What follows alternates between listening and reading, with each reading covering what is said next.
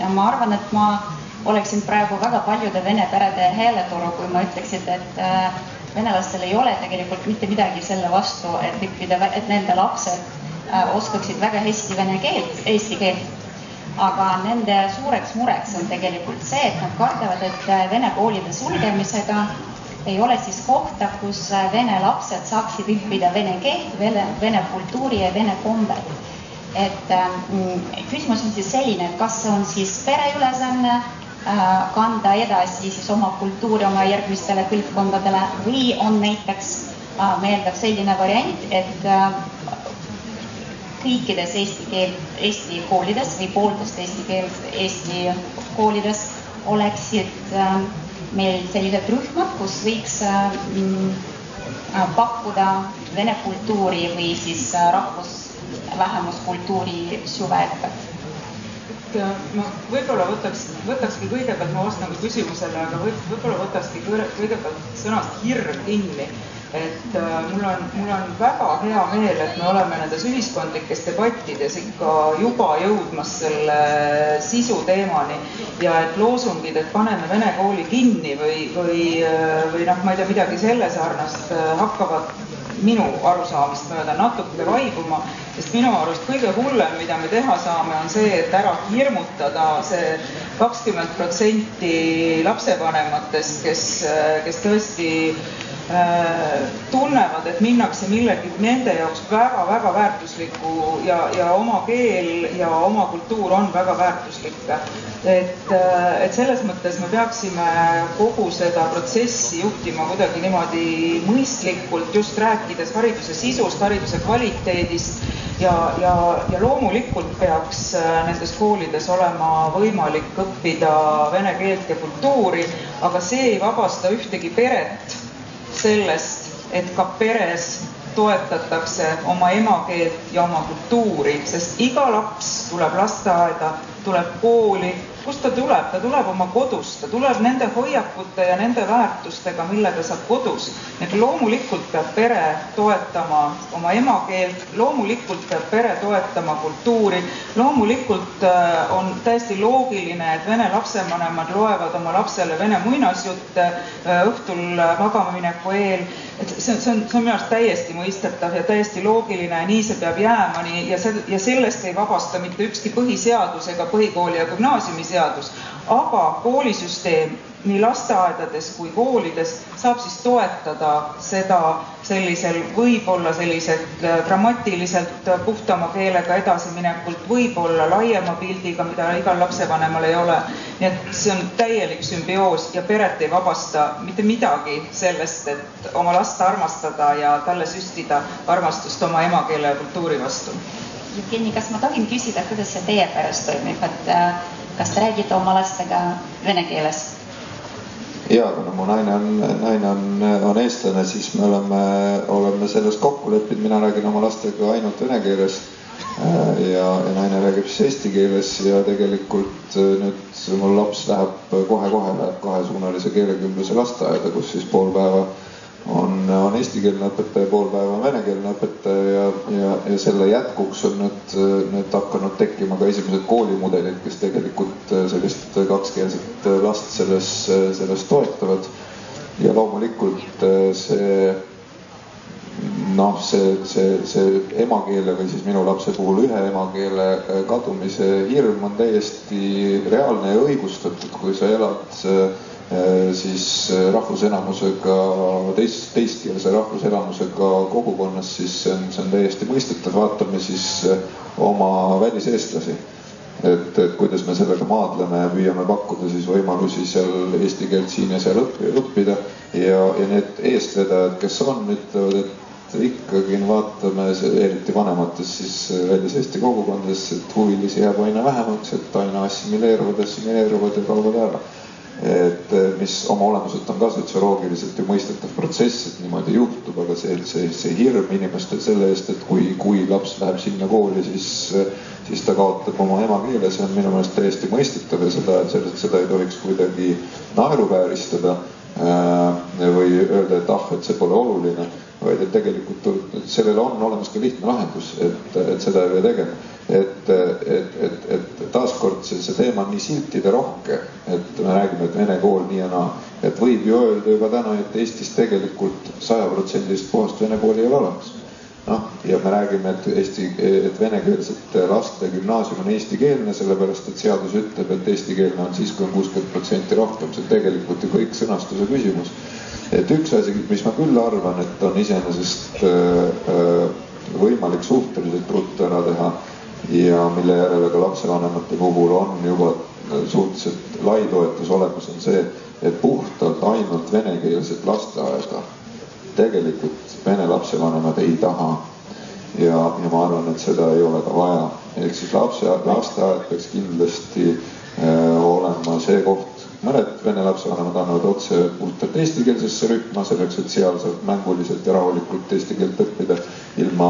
aineõppeta. ja, ja teised siis kasutavad kas siis selliseid mudeleid, mis on siis kahesuunalise keelekümbluse mudelid või on see, on see midagi muud. aga kindlasti lasteaia lõpuks võiksid kõik Eesti lapsed siiski eesti keelt, eesti keelt eesti keeles siis lasteaeda osaliselt läbi teha seitsekümmend viis protsenti äh, muukeelsetest peredest tegelikult tahab, et nende lapsed saaksid lasteaias eesti keele selgeks, see on lihtsalt nii lihtne, kõik teavad, et see on imelihtne ja, ja seal, seal puudub selles asjas igasugune sund, see on nii loogiline. aga huvitav on ka see, et ka, ka Eesti äh, ühiskond on selles mõttes arenenud, et üle kaheksakümne protsendi Eesti vanematest ütleb, et see on täitsa hea ja, ja, ja see on okei okay,, kui äh, Eesti koolis on klassis ka vene emakeelega lapsi, juhul kui nende arv jääb siiski alla poole mis ilmselt on selline tunnetuslik piir, et noh, et siis võib-olla hakkab äh, noh, mingisugune muu äh, muu õpe klassis kannatama, kui on vaja noh, väga palju järele aidata. et äh, mina olen seda meelt, et ükski laps ei kasva ilma pere ja kogukonnata ja seda tuge peredele, tuge kogukondadele ja julgustust, et hoidke muidugi alles noh, oma keel, oma kultuur, oma, oma kombed, oma, oma kokakunst, kõike seda me peame pakkuma ja peame pakkuma kõikidele nendele, kes Eestis elavad ja tundma nagu rõõmsat uudishimu selle suhtes. ja ma arvan, et, et me ei saa öelda, et kõikides Eesti koolides, piirkondades, kus elab venelasi, hakkab kindlasti olema see süvendatud vene kirjanduse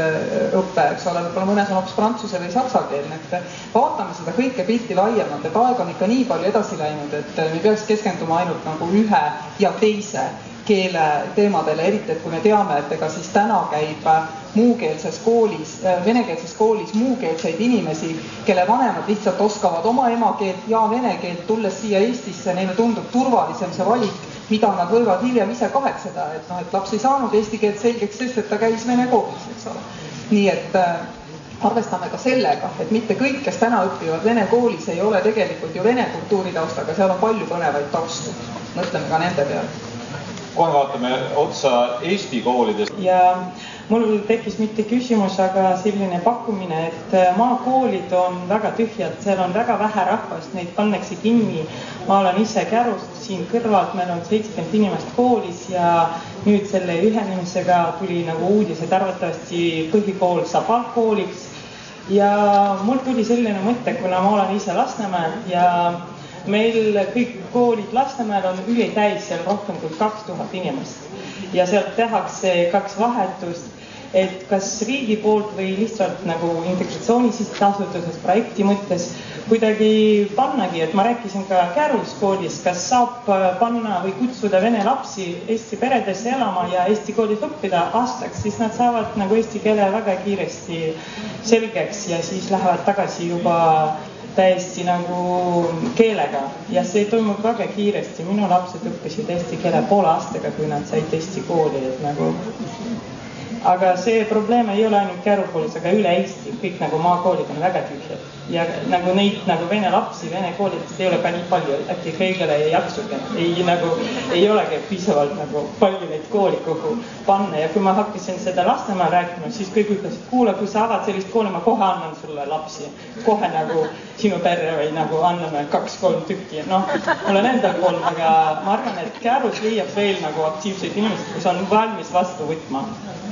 kuidas selline programm kostaks? ei, ma arvan, et see oleks äh, väga tore, kui, äh, kui see jõuaks ka noh, kooli ja, ja kooliajani, sest meil ju aastaid juba toimivad tegelikult lastelaagrid suviti, kus tullakse, tullakse teise keelekeskkonda, õpitakse, aga siis äh, nende lastega ma olen ka rääkinud, siis nad lähevad jälle tagasi Ida-Virumaale ja järgmine suvi see algab jälle otsast. aga ma arvan, ma kardan, et see ei saa olla universaalne lahendus, et loomulikult on tore, kui, kui ka inimesed tuleb ise kokku ja läbi kolmanda sektori, ma usun, et kindlasti leiab ka Irene võimaluse selliseid projekte toetada ja arendada, aga, aga see ei saa kahjuks jah olla universaalne lahendus, kuigi on tore kuulda sellist, sellist vabatahtlikku entusiasmi ja huvi ja ma soovin teile edu, kui te selle ette võtate Käru kandis.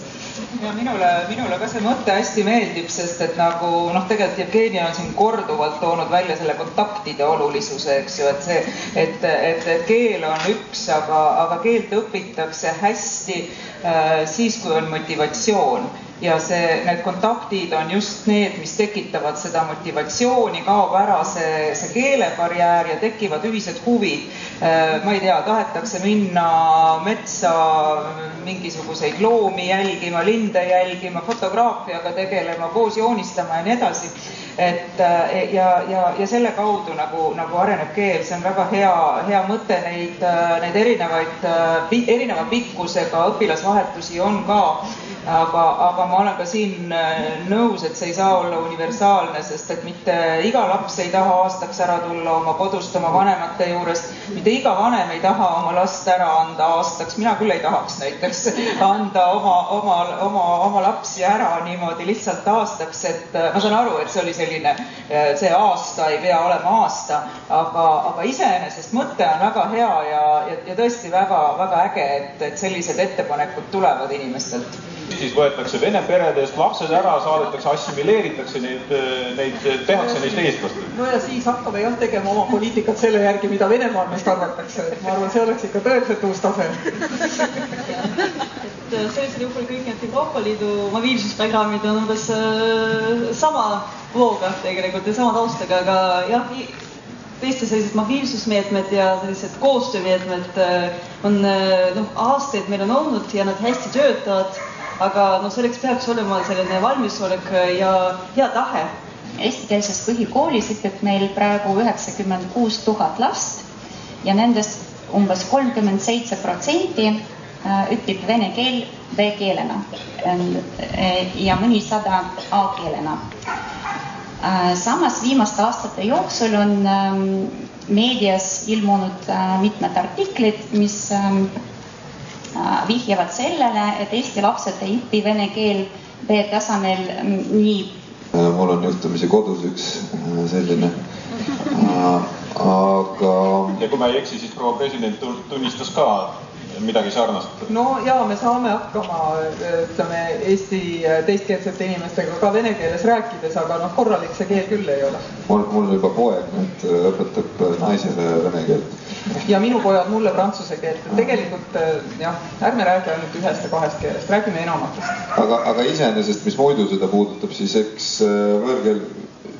noh, üldiselt on ikka nii, et asjad, mis on vabatahtlikud, et nendes nähakse, nähakse rohkem eh,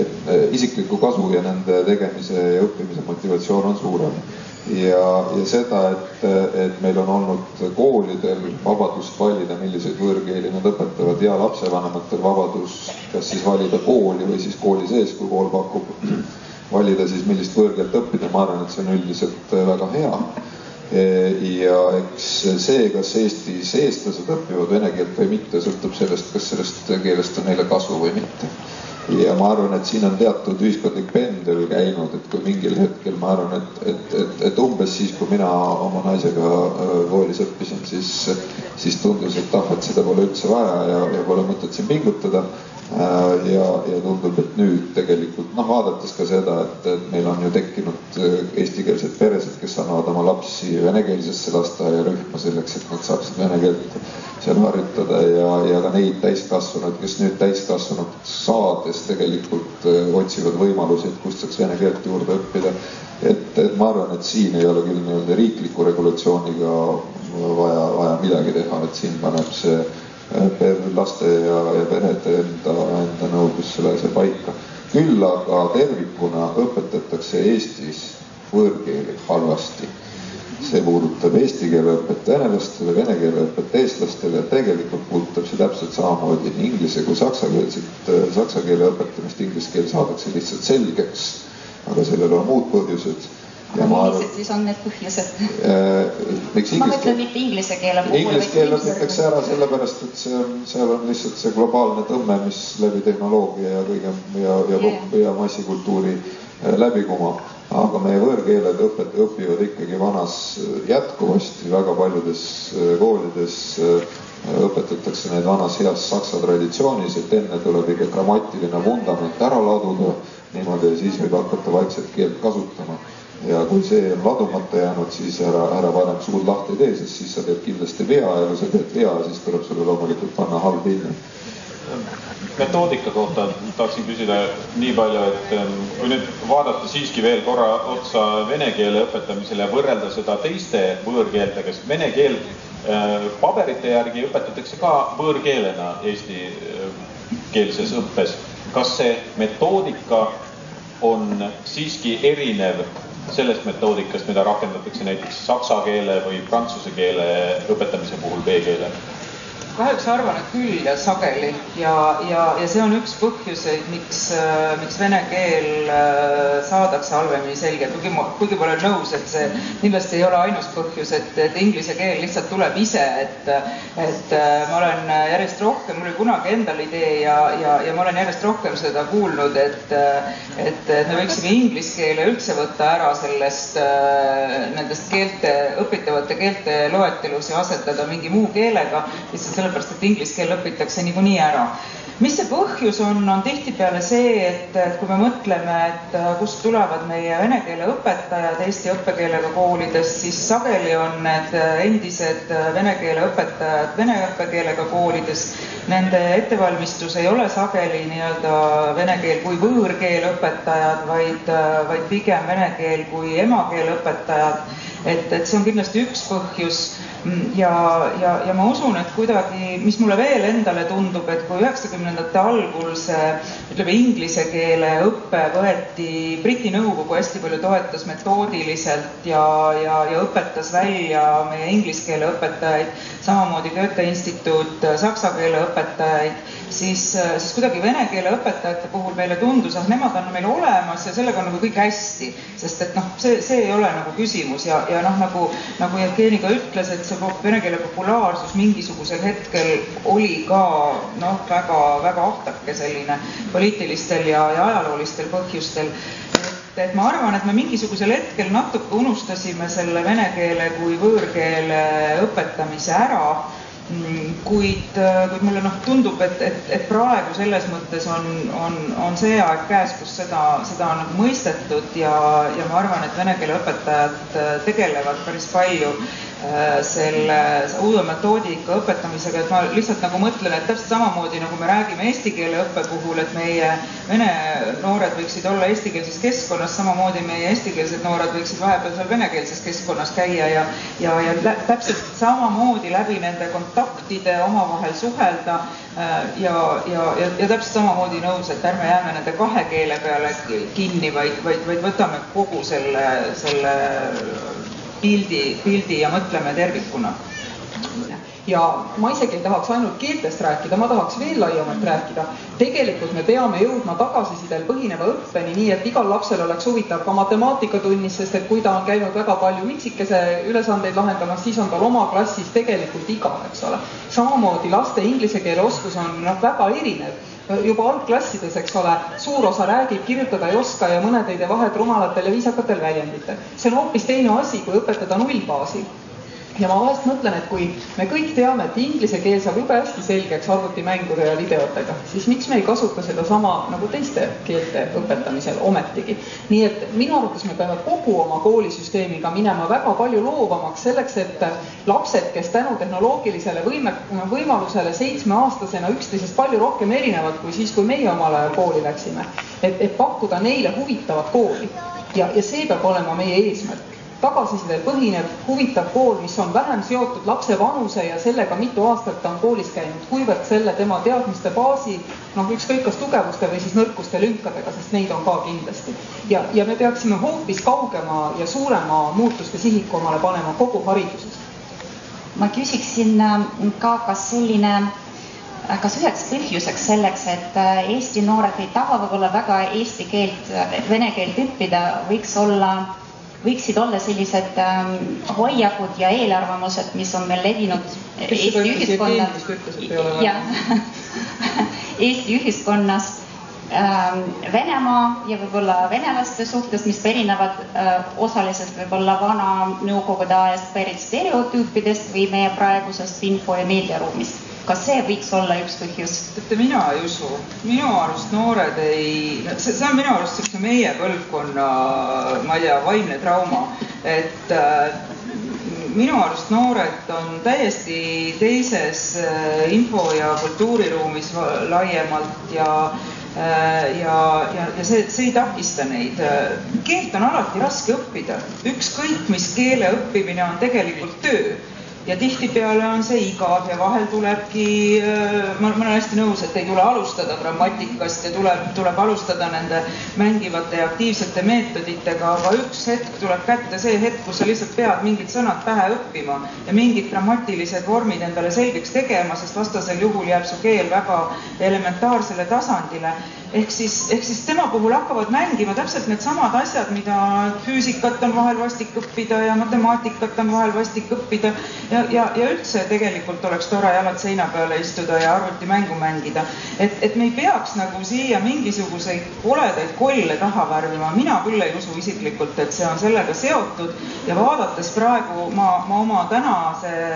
tööga olen rohkem seotud täiskasvanute keeleõppega, aga see täiskasvanud algab minu jaoks nii-öelda kooli lõpetajast, eks ju, tähendab, ma ei tegele üldharidussüsteemiga, ütleme niimoodi, et äh, on loomisel eesti keele majad Narva ja Tallinnasse, te ei kujuta ette, kui palju on minu poole pöördunud inimesi, kes ütlesid, kas te seal eesti keele majades ikka vene keelt ka õpetama hakkate.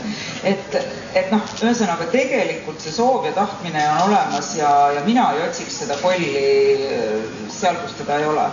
Tatjana räägime sellest, et meil võõrkeeleõpe on kehval järjel ja tegelikult peaks ja, ja rakendaks tehnilisi vahendeid. mis siis, kui me alustame natukene vales kohas, et see B-keel algab tegelikult vanuses, kus lapsed on sellised eelteismelised, kus neil on mingi osa eelarvamustest ja suhtumistest ja hoiakutest juba välja kujunenud, äkki peaks palju varem kogu keeleõppega, võõrkeelse õppega alustama? see ongi see, et me ei saa liiga palju rääkida sellest, et kuidas vene laps saab lasteaias eesti keele selgeks, rääkimata sinna kõrvale kohe seda, et Jevgeni ütles ka, et paljud Eesti vanemad panevad oma lapsed vene lasteaeda, nad paneksid ka mõnda teise keelde kümblema, aga noh, lihtsalt seda on kõige lihtsam leiutada, eks ole, Tallinnas muide ei ole ka seal nii pikki järjekordi täis venekeelsetes rühmades, keelekümbluse rühmades muide on, eks ole. ja,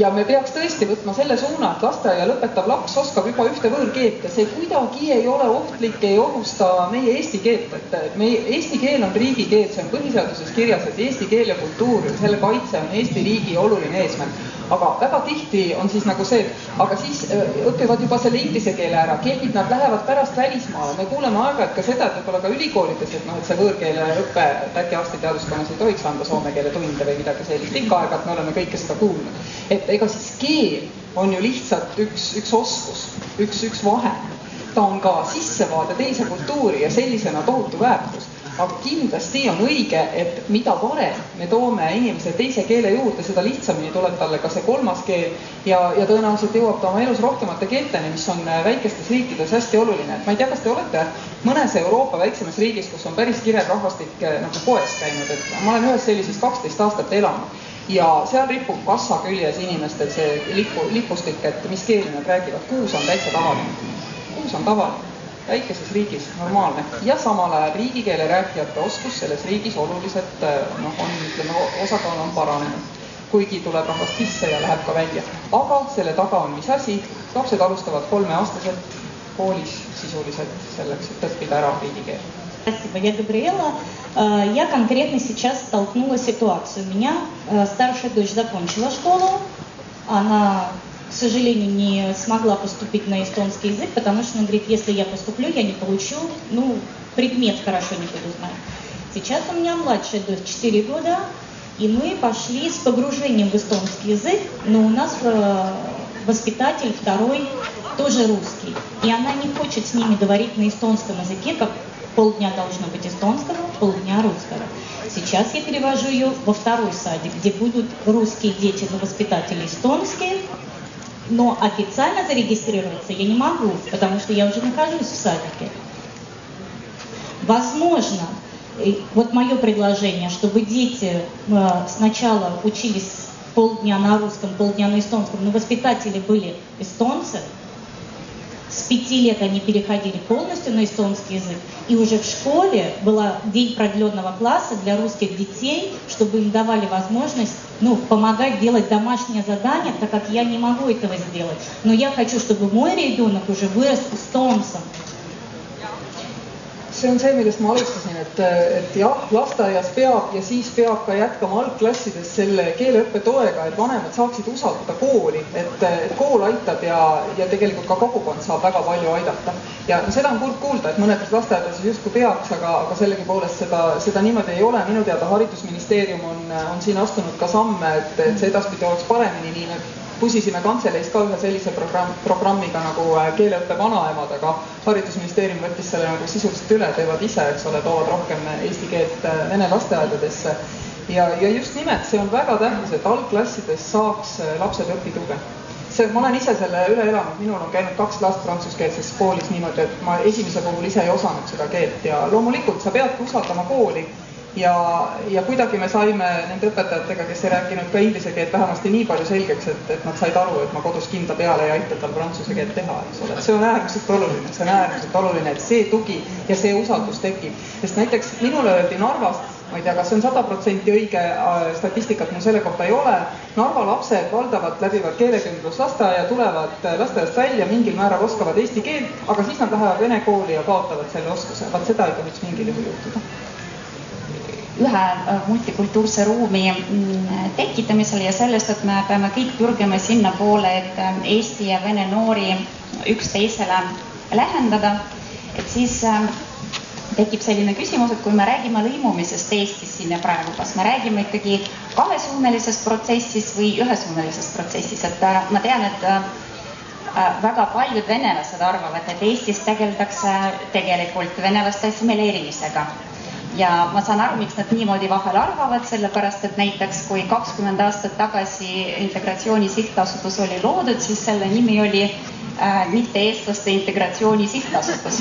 ehk kuidas meil praegu sellega on? praegu on Integratsiooni Sihtasutus, kinnitan aga integratsiooniprotsess ei saa olla kunagi ühepoolne, et vastasel juhul ta ei ole integratsiooniprotsess, et ähm, ja, ja me ju tegelikult äh, räägime lõimumise puhul jällegi mitte ainult nendest kahest ruumist, me ei räägi ainult venelastest, me ei räägi ainult eestlastest. paar aastat tagasi plahvatas meil siin nii-öelda see meeletu pagulaste kriis, et äh, tohutult, äh, ma ei tea, paarkümmend pagulast tuli ja, ja lõi sassi kogu meie integratsioonipoliitika et et me peame aru saama, et, et me räägime tegelikult ühest ühiskonnast, sellest kodust, kus me kõik elame. kodu nimi on Eesti. Ja me elame siin sellel maal, me kõik tahame siin elada hästi, me kõik tahame, et meie lapsed oleksid rõõmsad ja õnnelikud. Ja me kõik tahame seda ühtemoodi et ma arvan, et me ei peaks siin liiga keeruliseks seda ajama, vaid nii lihtne see tegelikult ongi, et äh, kõik inimesed, olenemata nende keelest, äh, kultuuriruumist, äh, nendest usulisest kuuluvusest, vanusest, sest tegelikult lõimumist võib võtta ka väga palju laiemana, sest meil on tihtipeale lõhed ka noorte ja, ja, ja vanemaealise põlvkonna vahel. meil on lõhed naiste ja meeste vahel näiteks tööturul, kui me tihtipeale räägime, et näete, muukeelsed inimesed saavad vähem palka kui eestlased. tegelikult naiste ja meeste vaheline palgalõhe on suurem tööturul kui rahvuseline, nii et võtame selle laiemaks, ei ole assimilatsioon no kui seda käsitleda võtmes, et äh, keegi ütleb kellelegi, et ära ole venelane, hakka eestlaseks, et noh, siis see on nagu nii, niisugune räme lihtsustus, et, äh, et seda saab muide kasutada nende vastu, kes tahavad, et kõik oskaksid äh, eesti keeles toime tulla, sest meil on tegelikult niimoodi ikkagi, et meie platvorm on Eesti platvorm. Ja see on meie ühine platvorm, millel me kõik toimetame mis absoluutselt ei tähenda seda, et me ei väärtusta seda, et kellelgi on tatari juured, kellelgi on Ukraina juured, kellelgi on Hispaania juured, kellelgi on vene juured. ja tegelikult ju ka meie venekeelsel kogukonnal on palju rohkem juuri kui ainult puhtalt venekeelsed juured. aga kui küsida, kui seda küsimust niimoodi printsipiaalselt nagu panna püsti ja öelda, et kas see kas see on meil ühesuunaline või kahesuunaline protsess, siis teatud määral on ta siiski rohkem ühesuunaline, sest et see on niimoodi meil kokku lepitud, meil on üks riigikeel. Aga see ei tähenda absoluutselt, et Eesti inimene ei räägi teises keeles, kui on vaja, ise ka räägin, kui on tarvis, siis räägin teises keeles, milles küsib? esiteks, äh, me juba terve päev räägime keelest, vanematest, õpetajatest, koolidest. aga te ise ütlesite nagu, te ise jagate inimesi venelasteks, eestlasteks keeleoskuse järgi. nagu näiteks, kui minu sõber ei oska eesti keelt, aga ta sündis Eestis. kas ta siis on venelane või ta on eestlane? see on esimene küsimus, miks te jagate inimesi keeleoskuse järgi. ja teine küsimus on rohkem selline lahendus. kuna praegu te rääkisite terve tund, rohkem oli selline pinnapealne teema ja polnud ühtegi mingit vastust, kindlat lahendust, kuidas seda keelt tuua Ida-Virumaale, Ida-Virumaale, siis miks mitte motiveerida noori õpetajaid, Eesti õpetajaid, kes ei valda vene keelt, et nad tuleksid meile Ida-Virumaale ja seal õpetaksid koolides. Sest kui näiteks mina oleksin venelane, mina õpeksin Eesti koolis ja ma ei teadnud eesti keelt, siis ma küsiksin õpetajal näiteks mingi küsimuse vene keeles. aga õpetaja ei tea vene keelt, siis ta vastab mulle eesti keeles ja to toimubki see suhtlemine, õppimine eesti keeles, sest õpetaja ei tea vene keelt ja ta õpetabki ja seda noort eesti keeles. Motiveerida nii rahaliselt näiteks, ma ei tea, või kuidagi teistmoodi äh, kingida kingitust mingit spetsiaalset, mingit anda, ma ei tea, nimetust teist, aga kuidagi motiveerida, mitte ainult rahaliselt võib-olla see on mingi probleem, aga teistmoodi ka. aitäh. et ma, ma äh, ütleks ühe sõna esimese küsimuse kohta, et teine küsimus on, see on targemaid spetsialiste. aga, aga see identiteedi küsimus, ta lihtsalt natuke jätkab minu eelmist, eelmist vastust, et et, et eks ta, me üldiselt inimestena et, et meie identiteet on hästi mitmekihiline. et sa saad korraga olla ju palju asju. Et sa võid olla, on ju, mees ja noor ja võid olla eestlane, võid olla see ja too ja kolmas, võid olla pärit mingisugusest maakonnast aga, ja, ja, ja seda me üldiselt peame täiesti normaalseks, siis selles küsimuses, et kas sa oled eestlane või venelane, on, on Eestis nagu kaks valikut, et kas sa oled üks või teine. ja, ja, ja tegelikult, aga miks ei võiks olla mõlemat? ehk siis küsimus räägib sellest, et, et tegelikult see, see, mis paljudes teistes ühiskondades on täiesti reaalselt olemas, eesti-vene identiteet et sa oled, sa oled eestlane selles mõttes, et see on Eesti, on sinu kodumaa ja see on see, see on see, see on see riik ja sinu kodu ja teiselt poolt jah, et, et, et, et sa tahad ka ära märkida, et, et su mõlemad vanemad näiteks on venelased. et oma identiteedis. Aga Eestis minu hinnangul jätkuvasti sotsiaalselt aktsepteerituna sellist identiteeti ei ole olemas ja mõlemat pidi, nii ühiskonna mõttes kui ka, kui ka inimeste endi jaoks, et nad ise ka valivad pigem siis kas selline või selline. ja, ja, ja see on jällegi koht, seda me siin ka Aune Valguga just arutlesime, et see on ka tegelikult koht, kus kool peaks tegelikult ka püüdlema selles suunas, et kuidas, kuidas seda, seda Eesti venelase identiteeti tegelikult äh, sellisena tekitada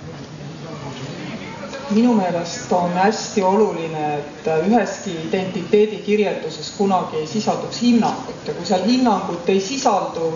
eestlane, venelane, prantslane, juut, sakslane, must, musta nahavärviga, valge, siis ei ole see ka probleem, kui eh, noh, me siin arutame, et kes on eestlane, kes on venelane, kes, kas eesti-venelane, aga mul on ka alati valus kuulata ja ma olen seda kuulnud ka ja seal ei olnudki jutt isegi ei olnud vene päritoluga inimesega, oli tegemist oli Leedu päritoluga inimesega, kes ütles, et ta on väga uhke selle üle, et ta on noh, eesti keele ja kultuuri omandanud, ta on väga hea noh, ütleme Eesti, Eesti, Eestis tuleb hästi toime ja talle meeldib siin ja ta oleks sügavalt õnnetu, kui teda ei peetaks eestlaseks aga tema saatekaaslane ütles talle, et ei, ei, sellega läheb ikka mitu põlve aega. Nii et siin on meil ruumi äh, mõelda noh, mõlemal, kõikidel meil, aga eelkõige loobume hinnangulisusest, et see, see ei saa olla hinnang, selles identiteedikirjelduses ei saa olla hinnang. aga võib-olla probleem ongi selles, et meil nendel mõistetel siiski ajaloolistel põhjustel veel on mingi pitser juures või Nad mingi väike, taak. jaoks. aga, aga just ma ütlengi, et aga sellest on vähe, et me lihtsalt Jah. ei anna hinnanguid, sest, sest hetkel, kas, kui, kui mina pean valima, kas ma olen üks või teine, siis ma, ma olen kimbatuses, ma ei taha valida. Ma ei ole venelane selles mõttes, et ma ei jaga ühist eh, piiri taga olevat eh, rohkem kui saja miljoni inimesega.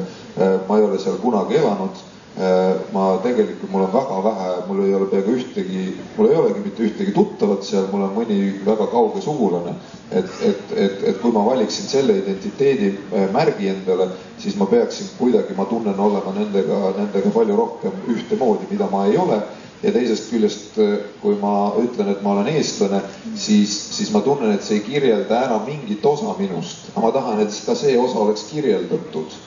Ja selles mõttes noh, Eesti-Vene identiteet äh, selle sidekriipsuga oleks, oleks sellele lahendus, kui sellel oleks nii-öelda ühiskondlikult äh, noh, teatud baas. elades Eestis mul seda probleemi ei ole, aga, aga, aga me ei saa seda ju taandada jälle sellele, et meil on vaja lihtsalt seda identiteeti, et sa oled Eesti venelane. meil on siin samamoodi väga paljude teiste rahvuste esindajad ja nad kõik, eks ju, täpselt samamoodi ilmselt kirjeldaksid ennast, et noh, mingil moel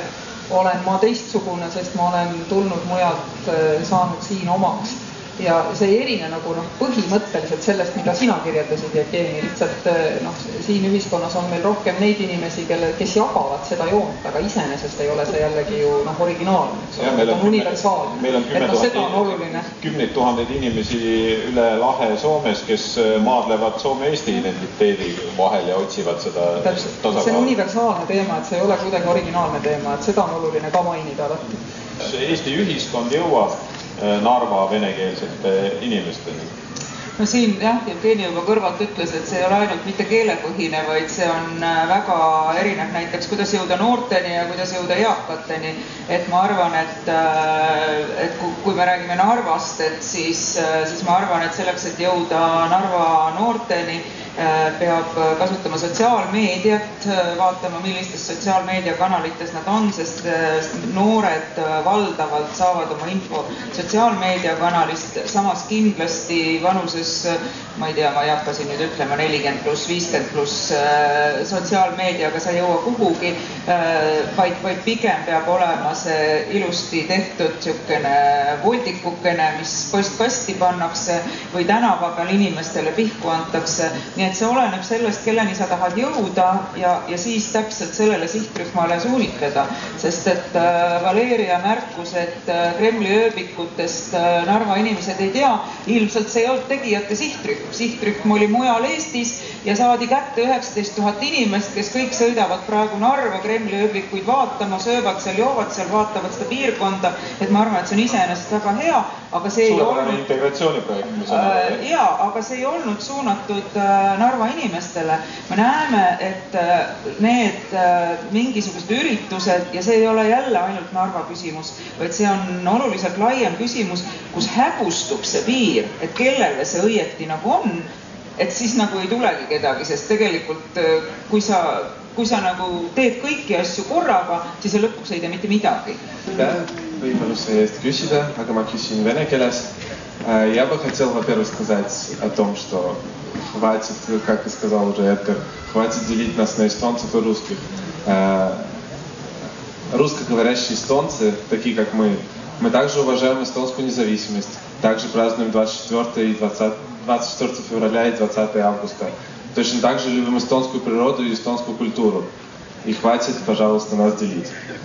А второе, я бы хотел спросить касаемо школ, что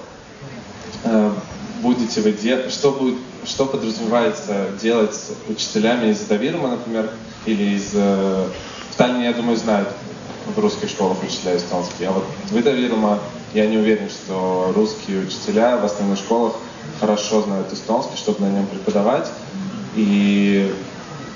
что планируется с ними делать? Отправлять в кассу по безработице, чтобы они шли работать максимум? Или обучать их? Или вот такой вот вопрос. Спасибо. Lihtsaid lahendusi ei ole, ma üldse ei välista, et ongi vaja maksta väga palju rohkem palka selleks, et nii nagu siin juba enne naabripoiss ütles, et eestikeelsed õpetajad läheksid Narva, aga selles, selles esimeses küsimuses, et, et mina olen seda rääkinud Eesti raadios ja televisioonis, Suurbritannia raadios ja televisioonis ja igal pool, kus on küsitud, keel ei ole meele kohta, ei ütle mitte midagi, et ma tean väga hästi, et venekeelsed inimesed Eestis armastavad Eesti riiki, kahekümne neljandat veebruari Eesti loodust ja kahekümnendat augustit samamoodi. Ja tõepoolest tuleb neil seda väga tihti öelda, sest ei saa ka salata, et on ka ütleme, Venemaa ütleme strateegilise kommunikatsiooni huvides on väita, et see niimoodi ei ole ja hästi oluline on kogu aeg rõhutada, et jah, me teame, et see, et see on vale väide, et nemad ei armasta Eestit sellepärast, et nemad räägivad vene keelt. isegi inimesed, kes ei oska eesti keelt, ikkagi võivad väga vabalt Eestit armastada. Keel ei ole mingisugune, selle põhjal ei saa ennustada, mis on inimese meel, ei tohi mitte kunagi ennustada. ja samamoodi, ega siis see, kui inimene elab ka Venemaal, eks ole, ja on venelane ja on, ja see ei tähenda, et ta toetab mittedemokraatlikke režiime tingimata ja alati. noh, kõiki neid asju tuleb vaadata eraldi, mitte kunagi ei tohi ühtegi sellist asja segi ajada, see on äärmiselt oluline. nii, Tatjana Kilo, kiire vastus veel sellele, et mida nende õpetajatega siis teha? hästi, ega kiire lahendus ei ole tegelikult ja noh, mida me oleme eeldanud või oletanud, et me pakume meil on võimalus õpetajatele nii keeleõppeks kui ka täienduskoolituseks ja et õpetajad tegelikult, kui me räägime õpetajast kui professionaalist, ehk siis Äh, loomulikult äh, noh, ta on ise ka õppija, ehk siis äh, me eeldame, et needsamad noh, ütleme sellised süvaanalüüsid või mõtted või arutelud ja need teemad, millest me räägime, et ka Narva õpetajate jaoks need teemad on olulised ja nad leiavad ise viisi, kuidas, mis on nende valikud elus ja, ja karjääris, siis mida, mida, mida teha aga noh, põhimõtteliselt äh, nagu me alustasime selle instruktsiooni, et, et meil on praegu gümnaasiumiharidus äh, eestikeelne ka Narvas äh, ja põhikooli tasand on ütleme see küsimärk ehk siis, et kuidas edasi ja täna me ei, rääkinud sellest, et meil on valmis lahendused, et me isegi ei ole öeldud, et, et näiteks vot see tähtaeg on see, on see nii-öelda aasta või periood või et millal midagi hakkab toimuma. et me räägime sellest, et, et meil on noh, ütleme, kõik muutub ja ka kool Narvas muutub ja õpetajad tegelikult need ei ole need õpetajad, kes noh, ütleme kakskümmend aastat tagasi sattusid sellisesse olukorda Äh, et nad pidid kiiresti midagi, noh, pidid, pidid muutuma, et äh, tegelikult nad on äh, professionaalid ja ma arvan, et nad leiavad nende võimaluste seas, mida riik pakub, noh, need võimalused, mis neile sobivad